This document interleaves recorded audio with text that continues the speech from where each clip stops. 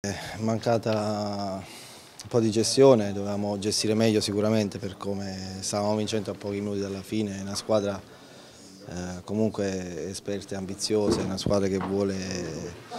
portare a casa una vittoria del genere in determinati francetti, non può ecco, sbagliare, noi in quel caso siamo abbassati troppo, abbiamo avuto troppa paura, non lo so, qualcosa è mancato e dispiace, c'è rammarico e delusione perché era abbiamo buttato via due punti dove potevamo salire ancora di più in classifica con, due partite in meno, però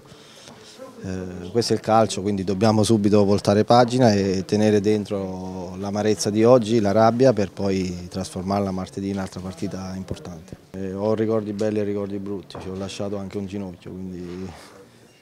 Preferisco tenere i ricordi belli, però a parte quello eh, c'è il rammarico perché avrei preferito ecco, vincere la partita oggi. Ho avuto dei problemi di dieci giorni, quindi ho portato dietro un po' di problemi, però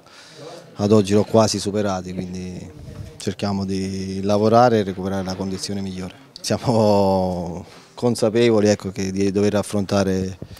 eh, tante partite, però abbiamo una rosa ampia e forte, quindi da quel punto di vista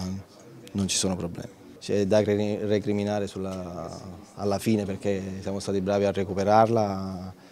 e ad andare in vantaggio, però nella totalità della gara la Pro Vercelli comunque ha fatto una buona partita. Noi eh, siamo stati non brillanti il primo tempo, stati, abbiamo regalato un tempo, quindi quello è anche un fatto dove dobbiamo migliorare. Sicuramente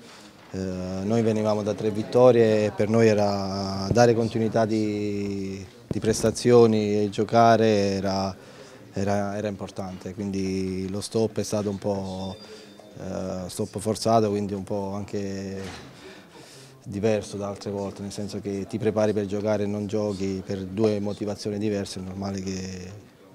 un po' qualcosina cambia, però eh, infatti abbiamo regalato un tempo e dopo, dopo lo schiaffo abbiamo reagito. È quello di lavorare di, come tutti del resto, poi tutti lavorano per giocare, per essere protagonisti, ma per aiutare la squadra perché abbiamo un unico obiettivo, chi gioca di più, chi gioca di meno, ma la squadra ha un unico obiettivo e quindi è quella di far bene, quindi a prescindere da chi possa giocare di più o di meno, queste scelte le fa l'allenatore, ma l'importante è che la squadra remi tutte dalla stessa parte.